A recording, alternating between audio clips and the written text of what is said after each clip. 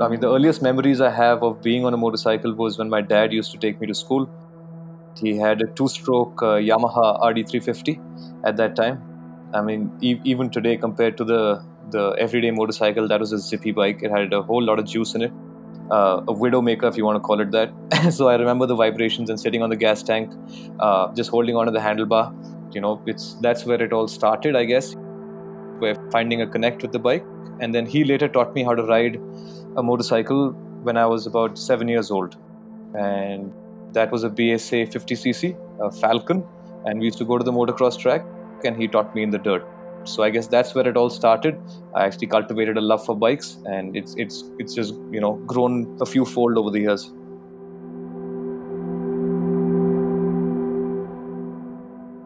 My name is Vijay Singh. I run Rajputana Custom Motorcycles. We are based in Jaipur, Rajasthan, India.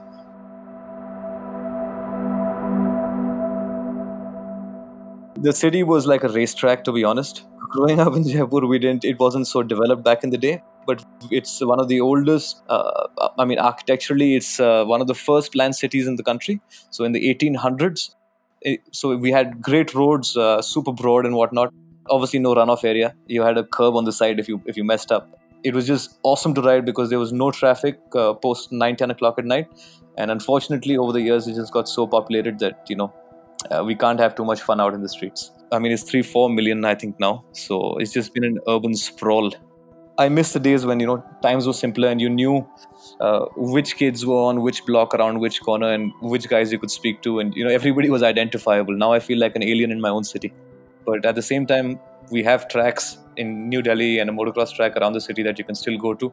So that's still there. But I, I just I, I miss riding around in the street and enjoying the city for what it is.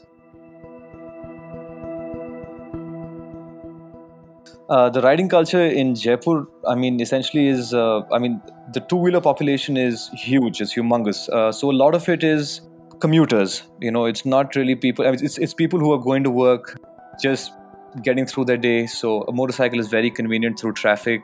And, you know, if you come to Jaipur, you'd see probably three to four people on a bike, even if it's a family.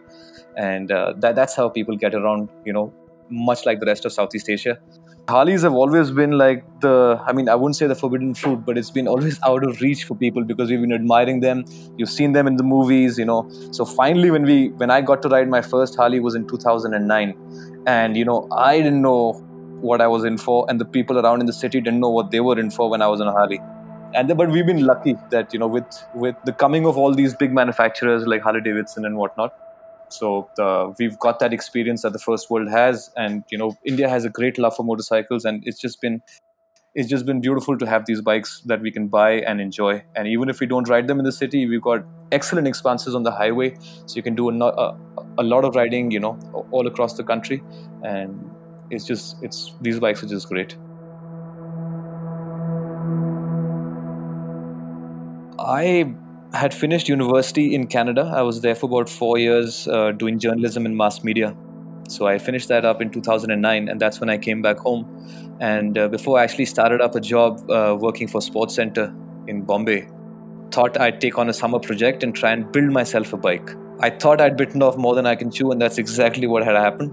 But I had great help from metal fabricators and ex racers in the city.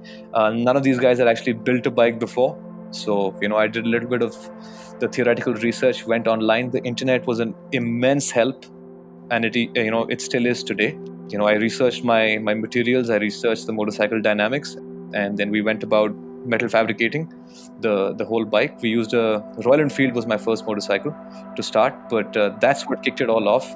And uh, it was like i said it was a very eventful learning process. We went wrong 9 times out of 10 but that taught us everything that we know. And uh, looking back in hindsight, uh, you know, big problems that seemed, you know, like mountains uh, are common knowledge today. And uh, so that's been a reassuring fact that you just got to take one step at a time, put one foot in front of the other, and keep moving forward. And uh, you know, every expert was a beginner once. Every profession was an amateur at some point. So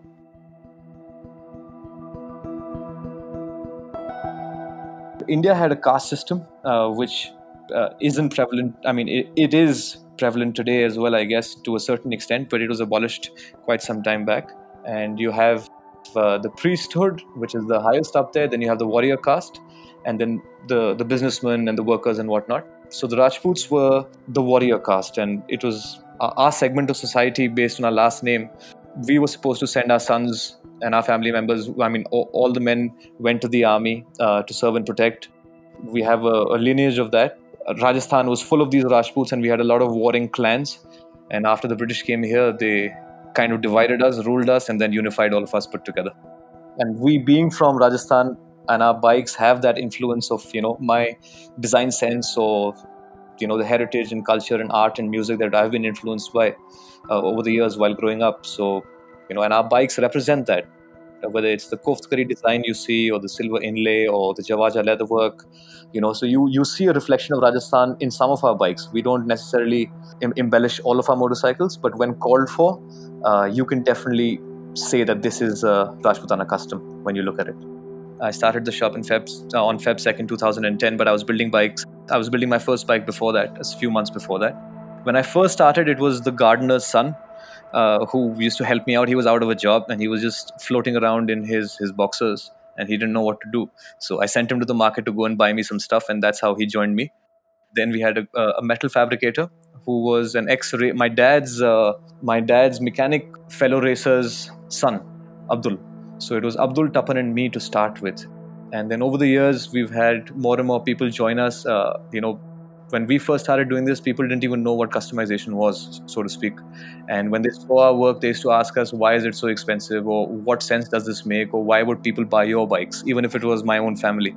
Let alone me do something. It was uh, hard to build a team, it was hard to build this business uh, or this this way of life, if you want to call it that. It's not much of a business.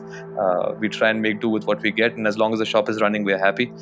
But now we have about 16, 18 uh, employees, and uh, we have excellent metal fabricators. We have a great lathe machinist. We have good experienced painters in there, and every intern that comes to us has a strong will to learn, and uh, they're really hardworking boys. And you know, everybody keeps the shop afloat.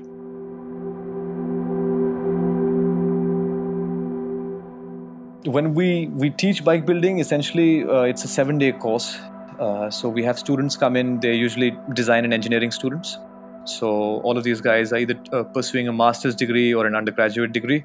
Some of them have already cleared school and they haven't been able to land jobs because in india creates so many engineers and designers and you know name it but there's there's not enough in the automobile industry out there with major manufacturers for everybody to get a job.